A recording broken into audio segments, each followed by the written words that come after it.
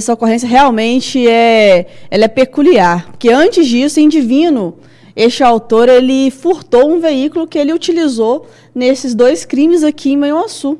Então, este autor aí, né, esse autor de 34 anos, ele é, esteve num, motel no município de Manhuaçu com uma mulher e, e após 30 minutos, cerca de 30 minutos que ele estava no interior do motel, ele é, se fez né, passar por, por um agente de segurança e falou com a atendente do motel que precisaria ali de um valor para colocar, no combustível, é, colocar combustível no veículo que ele estava, é, porque ele estava ali para prender a mulher que estava ali com ele. Essa história, né, com essa história, ele conseguiu é, levar aí 100 reais desta, dessa atendente. E posterior a este fato, ele se deslocou até o, até o distrito de Realeza, ele parou num, no posto de combustível e conseguiu encher o tanque ali no posto de combustível. Após isso, ele anunciou o assalto ao frentista.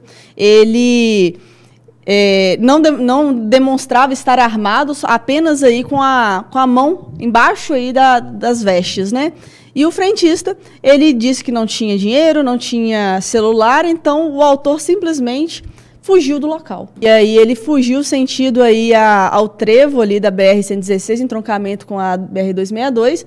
E após esse, todo este fato, nosso setor de inteligência ele tem algumas ferramentas para tentar acompanhar um veículo que transita aí pelas nossas rodovias. Sim. Então, após este acompanhamento, este autor foi preso, foi verificado que ele tinha se deslocado até o Espírito Santo ele foi preso no, no estado do Espírito Santo é, e foi apreendido aí, o, recuperado aí o veículo, ele foi preso e este autor aí de, de 34 anos, é, pelo menos agora, vai responder por esses três crimes, pelo menos, né, que ele praticou aí durante, durante este período e graças à integração entre a Polícia Militar de Minas e a do Espírito Santo.